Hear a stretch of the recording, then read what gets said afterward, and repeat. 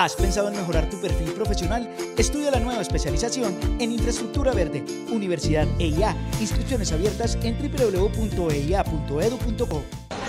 Desde que inició la pandemia, el transporte público ha sido una preocupación para sus usuarios. Algunos se han adaptado a otras alternativas como patinetas y bicicletas eléctricas que además de evitar el contacto y las aglomeraciones, también le aportan al medio ambiente.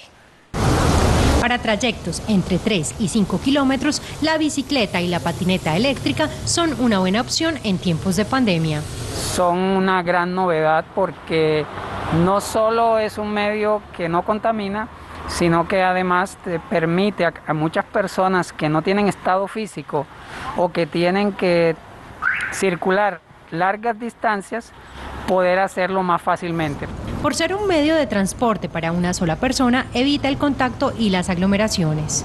Desde el comienzo de la pandemia eh, ha sido una movilidad que ha sido muy bien acogida, ya que las personas están tratando a todo poder no estar en aglomeraciones, por ende buscan transportes que estén más individuales y que sean unipersonales.